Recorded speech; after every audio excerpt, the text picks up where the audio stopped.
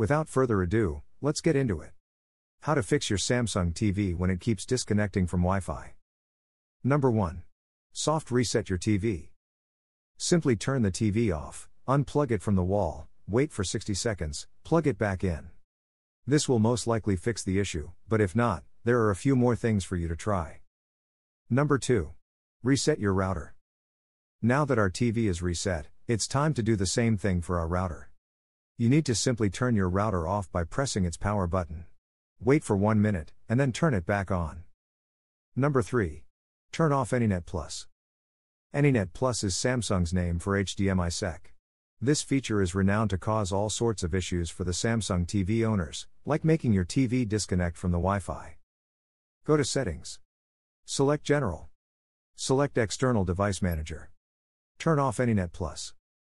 If you find this video useful, please don't forget to hit the like and subscribe buttons.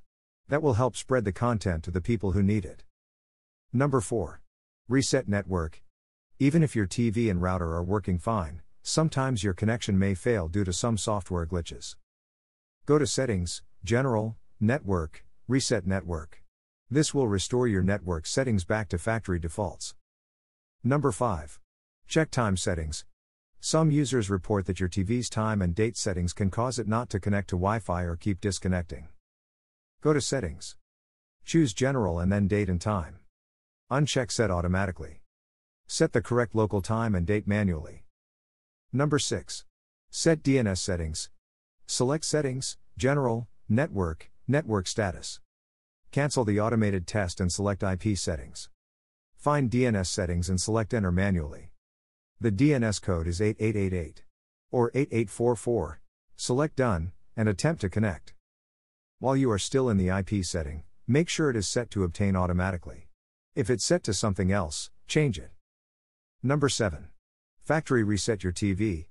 If nothing has helped so far, let's go ahead and do the factory reset. This will erase all the stored data on your TV. Navigate to Settings, General. Select Reset. Enter your PIN to initiate the process.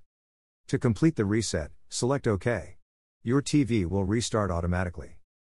If you have any other questions regarding this topic, we have a lot of useful resources in our blog. You can find the link to it under the video. Thank you so much for watching.